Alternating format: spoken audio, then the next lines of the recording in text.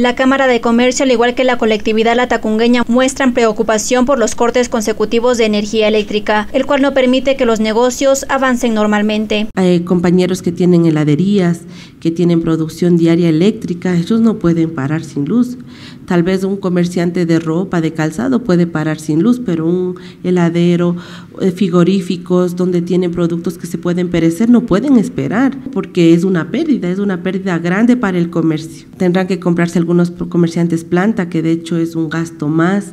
Recuerden que la planta no funciona sola, funciona con combustible. Se hace un llamado a la empresa eléctrica de Cotopaxi a entregar un cronograma para que los comerciantes de la ciudad puedan organizar sus negocios ante este problema. Desde la gobernación de Cotopaxi se asegura que la responsabilidad no solo está en manos de EPCO, sino de la cartera de Estado pertinente. No solamente genera pérdidas económicas, también eh, pérdidas materiales en muchos de los casos. Es por eso importantísimo que dentro de las eh, páginas oficiales de la empresa eléctrica conozcamos y revisemos eh, cuáles van a ser los horarios de corte de energía eléctrica. Estamos a la expectativa de aquello, no depende del EPCO-SA solamente, sino de las disposiciones nacionales. Por su parte, Javier Estrella, empresario, se refiere al tema de diésel, que en las gasolineras, al menos de la ciudad, se niegan a expender este producto, el cual permite que las grandes empresas no paren su producción. Es una obligación a las empresas que somos ya medianas y grandes tener nuestra propia planta de generación eléctrica autónoma para estos casos.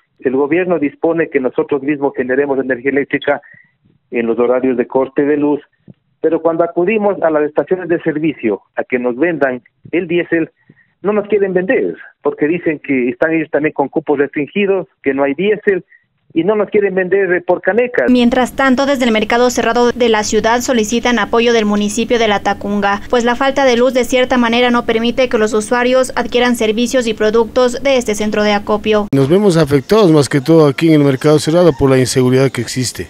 Eh, en, el, en, el, piso de acá, en el primer piso de legumbres y hortalizas es sumamente oscuro y debería tomar cartas en el asunto por parte de la ilustre municipalidad de La Tacunga y dotarnos con alguna qué sé yo, con alguna planta que nos permita subsistir porque es crítico, la gente no entra. Según la Cámara de Comercio a nivel nacional se registra hasta el momento alrededor de 18 millones de dólares en pérdidas en el país. Se espera un cambio por el próximo gobierno para resarcir esta falencia.